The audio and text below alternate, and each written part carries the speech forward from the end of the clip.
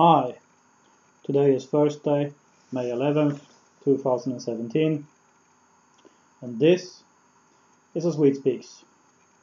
And this Thursday has been a very violent one in Sweden, so we have to say a few words about that, or I have to say a few words about that.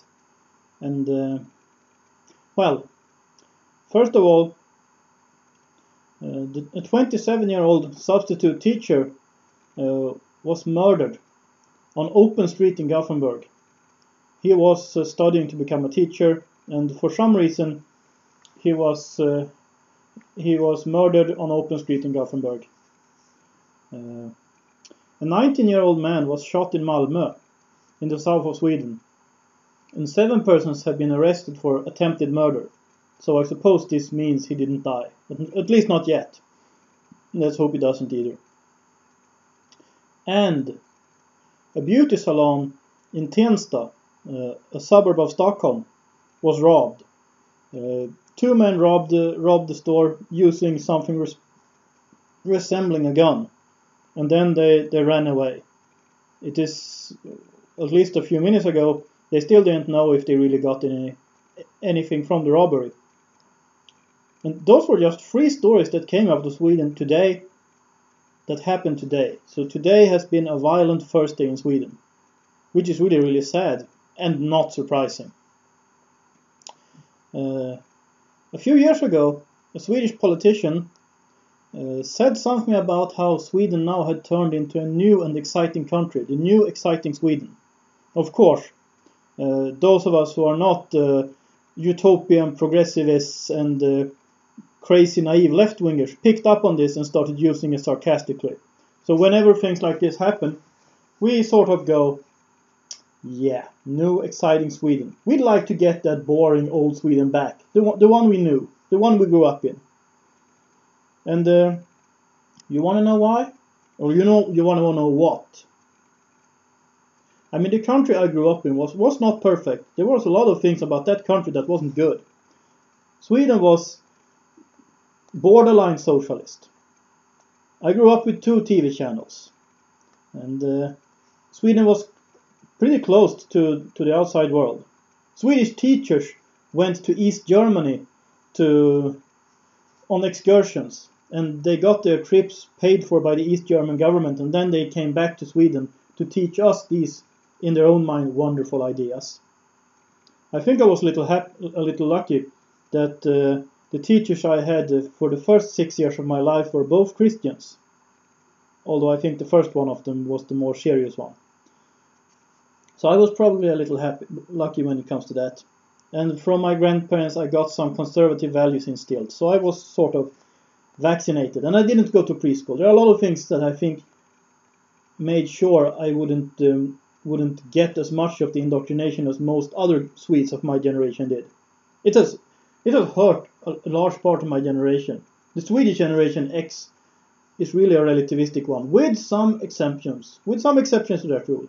Anyway, I digress. The thing is, the things happening, these are the symptoms.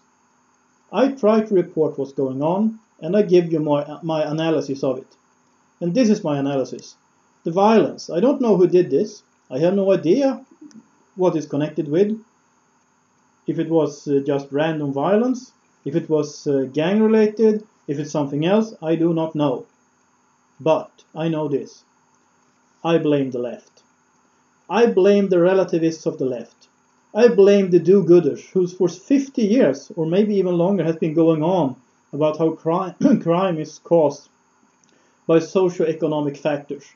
And we should understand this and we should be nice to, to the criminals and we should love them and then maybe they will will start acting acting better and stop doing this stuff. You know what? They're left. It doesn't work.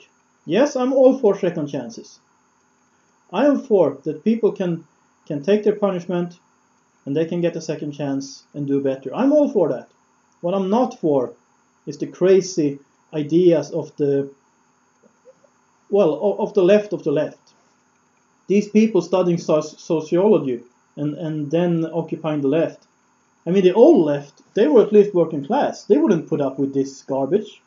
But then we got the new left, and this started somewhere around 1968, when uh, with, with all these people in the universities who would get this cultural radicalism and they would infiltrate the left-wing parties. Olof Palme is just a very, very good example, but he's not the only one. And I don't only blame the political left in Sweden. I also blame the right. I mean, because the right in Sweden isn't right wing. They are, in any important way, they are cultural radicals. And they, they have accepted the worldview of the left in so many ways, so you are to blame too. And I don't know how to put this in a nice way. But if you're voting for parties who are defending this, who are excusing this, who are saying that we, we, we need to understand why people do this. They do this because of socioeconomic factors. They do this because they, they don't feel like a part of society. If you do that, please stop. Please stop voting for stupid parties like that. And uh, that's really all I have to say about this right now. Uh, and uh, if you like this channel, uh, well, first of all, I would like to thank the people who are supporting this channel through prayers, through Patreon, through PayPal. That's greatly appreciated. And if you like this channel, please subscribe uh, so you don't miss anything. Please share my videos on uh, social media, on Facebook and Twitter. I have now reached and surpassed 1000 subscribers and thank, thanks everyone who helped me to get this far. Please help me carry on further. And if you got something to say, feel free to comment. If you like this video, please like it. And uh, I would also like to encourage you to support the channel. And I will include all the necessary information in the information box below. This is a Swede Speaks. Have a nice day.